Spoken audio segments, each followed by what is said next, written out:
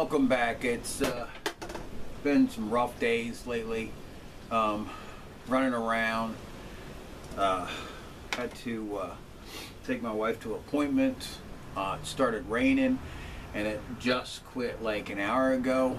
Um, so my training site is soaked. I'm not much for rain. Um, we had our annual Run for the Sun uh, bike ride today, motorcycle ride. Um, we go over over 100 miles, between 100 and 150. Um, it's all for charity, for uh, um, Jesus Film Project and and uh, Open Doors and um, Mission Ventures, but that's not what this is about. So. Welcome to my indoor crafting table. It's in my shed. It's, you know, it's a like 10 by 12 shed. Um, I am going to start a fire here because um, I'm working on char material kits. So these tins I want to use and have my char material in here. Now, what I made before was punk wood. So that's what's in this one. Um, and this is uh, charred cotton, charred cloth.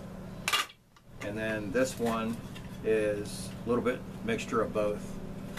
Now this one right here is in my main kit. Um, these are my auxiliary kits. This is actually in a uh, urban kit that, um, so people don't know I char material. But, um, you know, I got Cheetos in there. Basically they're wax chemical treated cotton. Um, which brings me to my next um, thing. Now, you know, I'm a big container guy and I was using headphone cases because my wife goes through headphones like they're going out of style about one every two months. Um, but I wanted to um, start charring some material first. Um, but what I did yesterday is I took a bunch of my cotton balls with the Vaseline on them You've seen me, me use these before. Um, and I made, um, no, don't eat these. They're cotton balls dipped in wax.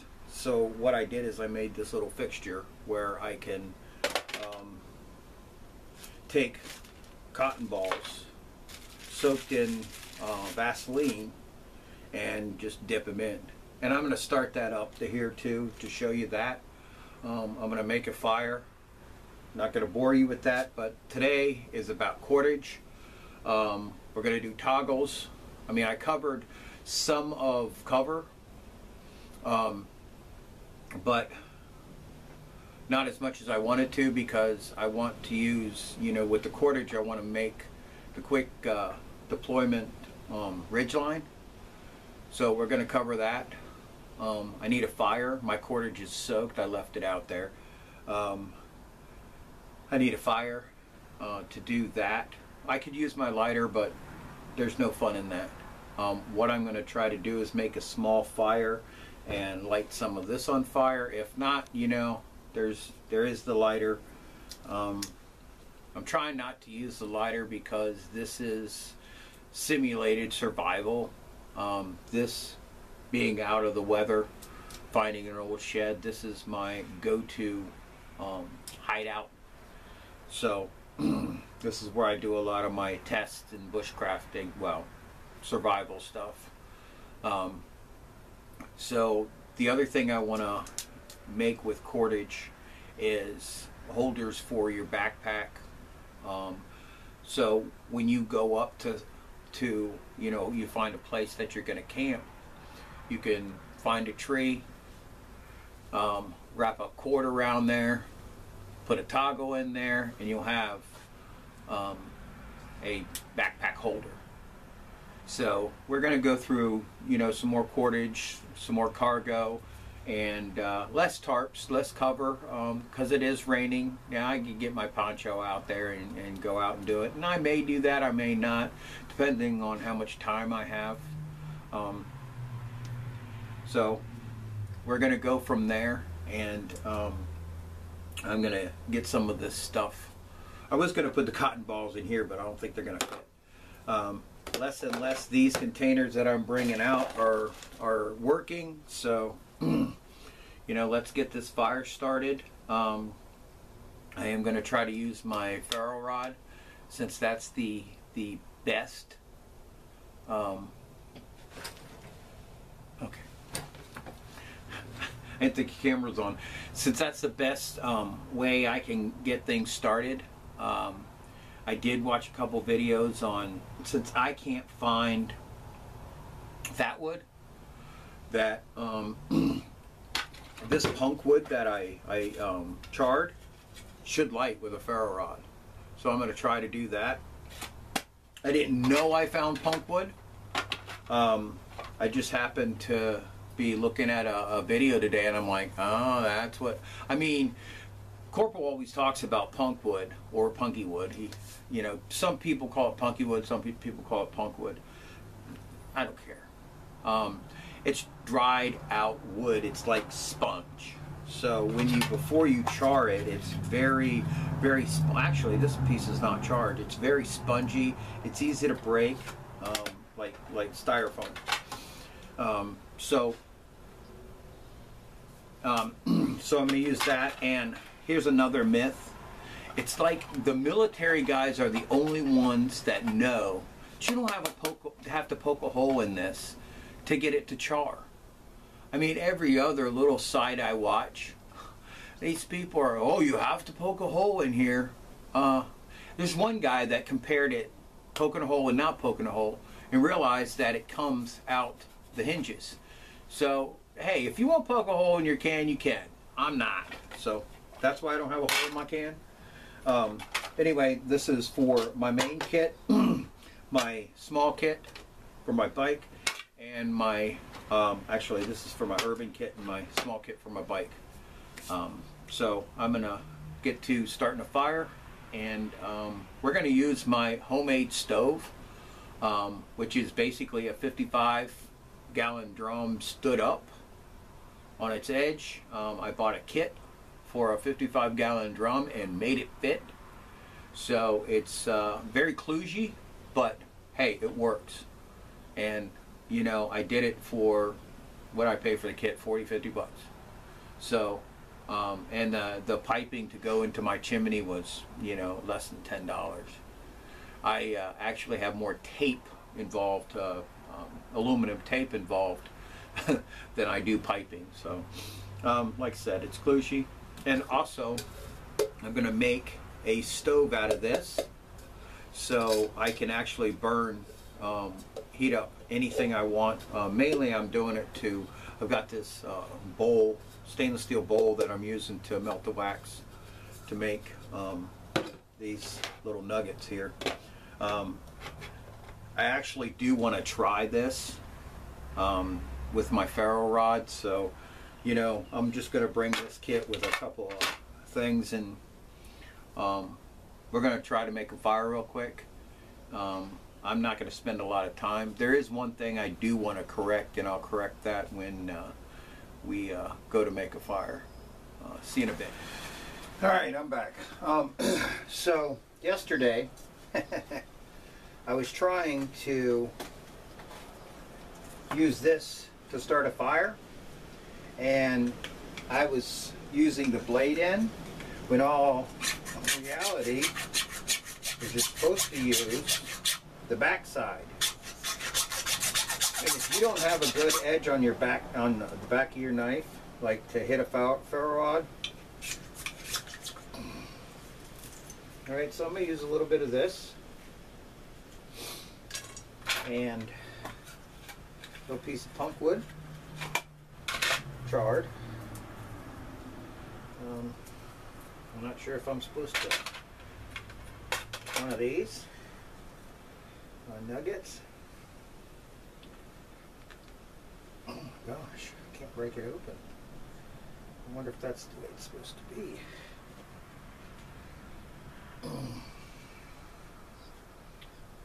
Wow, that's all wax. Look at that. Wax and cotton. I don't know if that's going to char or uh, light, but we're going to see. And as we saw yesterday when I was trying to scrape some of this off, that's all you need to do. Okay, there goes the uh, tent peg.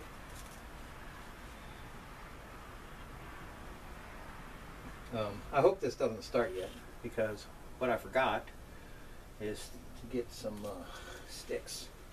Now everything's wet outside, so I don't know how good this is going to be, but I've got plenty of stuff right here that I could try. Um, I'm going to try to cut up some of this to get it together. This is all the hardwood that's in my shop, so um, let me pause this until I get some. Uh... So the other thing that I have on me that if I can get a flame going again, since my lighter's over there, where my pad. A little bit of tape.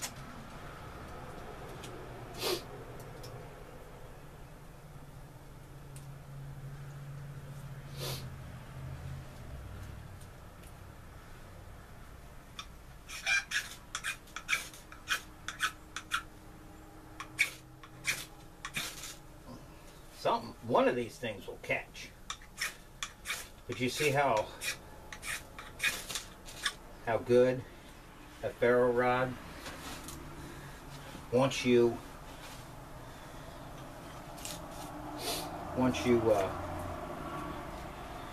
get the right one. How easy it is and I'm struggling with those little ones. All right this ain't gonna work. So Pack's right here, lighter's right here, battery, lighter, cargo tape. So here's what I'm going to do to light it. Since this is cargo, um, part cargo, I mean I could use parachute cord too if I wanted to. Oops, goes out easy. I don't like using a lighter during this thing, but I got to do what I got to do to get things going.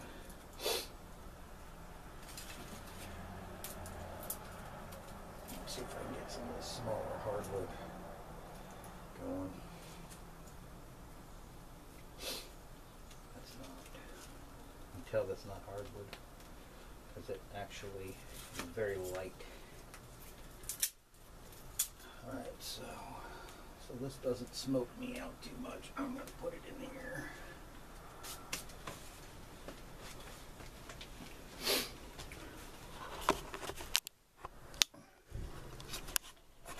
So this is what I built. um,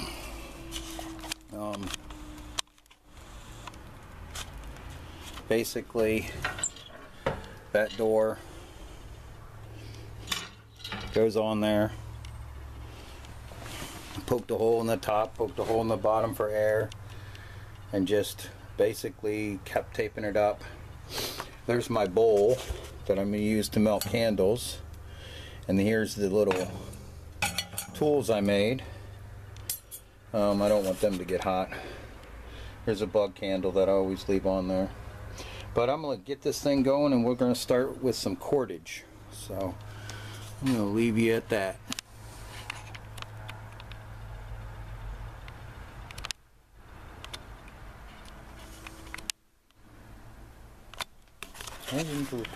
so using um, the idea that always prepare for your next fire. You see how easy that was to start. You know, um, I'm getting better. Um, I do things the long way on purpose sometimes just to show you the struggles that I had. So here's uh, what I want to try. I mean, obviously I already used punk wood, so here's some of the punk wood. I'm going to char that, and along inside there, I have uh, some denim rolled up. So I saw that um, and they say it's better than cotton. Of course, it's civilians. Um, so, you know, I take everything with a grain of salt, whatever I hear, military or civilians. So I got a pretty good fire going right now. Um, no coals yet, but that would be what it's for. All charred. Look at that and there's charred cloth too. Now that's denim, so we're going to see how this thing works. Um, but there it is again. So I'm always preparing for my next fire. And all these things I cut off here that'll dry, that's going to go in my fire kits too. Now, I'm going to end today with uh, the rest of my fire kit. So uh, I'll be right back. So, um, got our fire kits together. One of the things I want to add um, is alcohol prep pads. Um, I saw one of the kits, I believe uh, Ranger Andrew had. He had alcohol prep cat. Uh, so I want to add them to my first aid kit anyway. So I'm going to add them to this kit. Now I've got all that charred material in here because this is my next fire.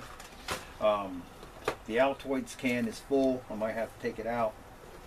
But um, this thing, you saw how these things work. So I get an extra one in there. Um, but the other thing I had on these is I had my cargo needles taped inside. Then I realized that I might char them. So um, these kits are well complete again. I could throw some of these back in there if I wanted to. Um, I probably won't. I want to um, leave some room for the lighters and maybe even a knife in here. So these kits are ready. This one's ready to be charred. Um, I'm going to make a stove out of this and this is going to go on my shelf here or on my, my bench here. Because this is all the stuff I use for material like I actually put some uh, cargo tape in there. Um, I gotta open one of these somewhere. That's inside probably oh here it is. Um, steel wool it's always good. I ain't gonna go in that one. Maybe it will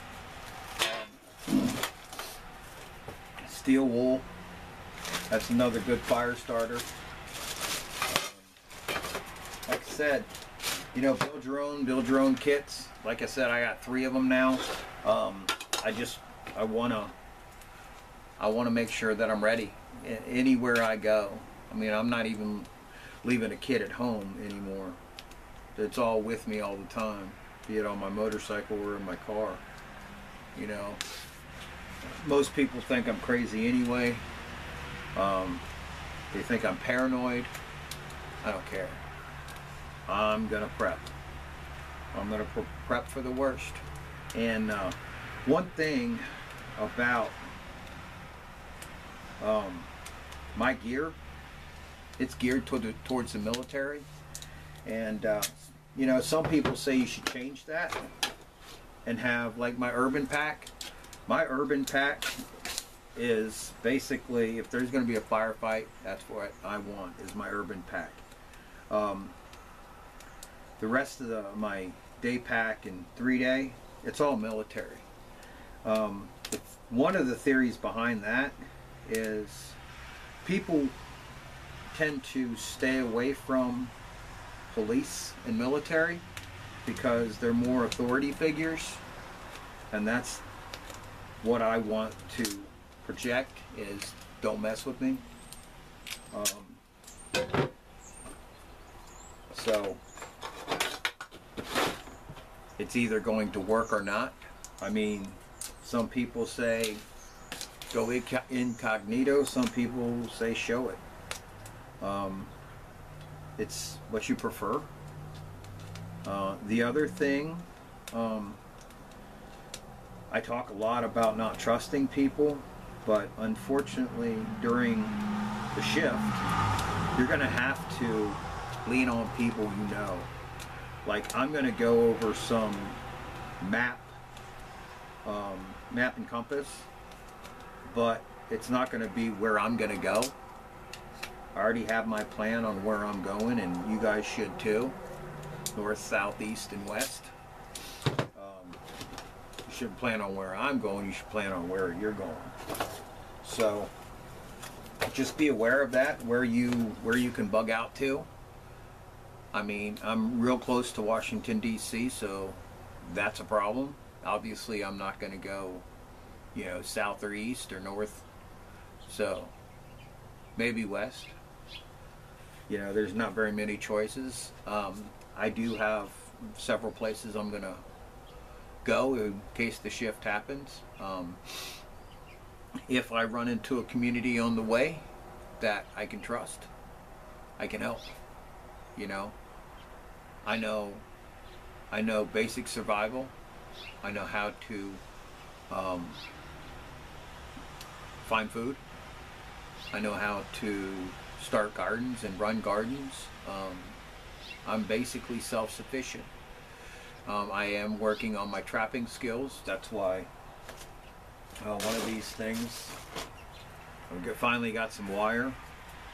And then this is 18 gauge wire, so I'm going to put this in my LBE so I can use it for trapping.